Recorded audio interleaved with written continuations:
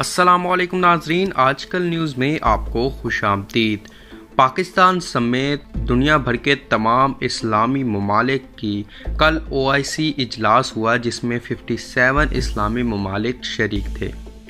इस इजलास में तुर्की ने तजावीज़ दी पाकिस्तान और पूरी दुनिया के इस्लामी ममालिक को कि फ़लस्तीन की हिफाजत के लिए एक फ़ोर्स तैयार की जाए और एक फ़ौज को फ़लस्तीन में भेजा जाए, ताकि वो फ़लस्तीन की आवाम और फ़लस्तीन की मुक़दस मकाम की हिफाजत कर सके। इसका नाम पहले तमाम ममालिक जो हैं, वो इस्लामी फ़ोर्स का दे रहे थे, लेकिन तुर्की ने तजवीज़ दी कि इसका नाम जो है, वो प्रोटेक्शन फ़ोर्स रखा जाए ताकि यूएन को भी कोई मसला ना हो और इस फोर्स को जाने से कोई रोक ना सके।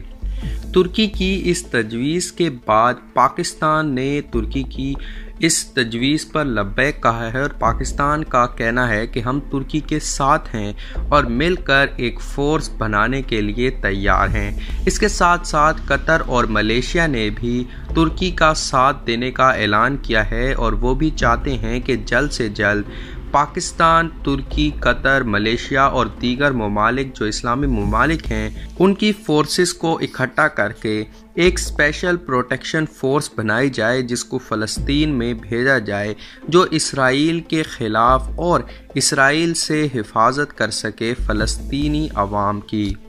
दूसरी जानब ये वाज है कि सऊदिया अरेबिया और यूएई इस मामले में पाकिस्तान और दीगर इस्लामी ममालिक का साथ नहीं देंगे क्योंकि इनके मफादात जो हैं वो मुख्तलिफ़ हैं।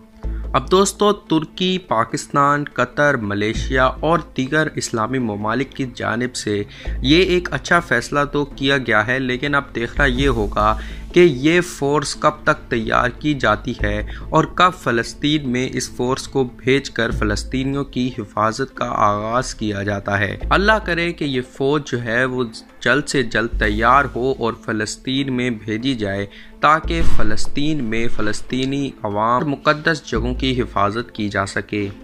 क्योंकि अगर इस मामले में अब दूगर इस्लामी ममालिक शरीक नहीं होंगे और अपनी फोर्सेस को वहाँ पर नहीं भेजेंगे, और बग़ैर किसी नतीजे के वहाँ पर इसराइली फ़ौज जो है वो ये जंग बंदी कर लेगी, उसके बाद इस बात की कोई गारंटी नहीं है कि इसराइल दोबारा से फ़लस्तीन पर हमला नहीं करेगा। इसलिए इस फोर्स को जल्द से जल्द बनाकर फ़लस्तीन के लिए रवाना होना होगा। अब दोस्तों, इस बारे में आप सबकी क्या राय है नीचे कमेंट बॉक्स में ज़रूर बताइएगा। वीडियो को लाइक ज़रूर कीजिएगा और दुनिया भर की लेटेस्ट न्यूज़ सबसे पहले हासिल करने के लिए सब्सक्राइब कर लीजिएगा हमारे चैनल आजकल को। और फ़लस्तीन के हवाले से लेटेस्ट न्यूज़ देखने के लिए हमारे वेबसाइट जी पाकिस्तान का विज़िट ज़रूर कीजिएगा। वीडियो देखने का बहुत शुक्रिया अल्लाह हाफिज़।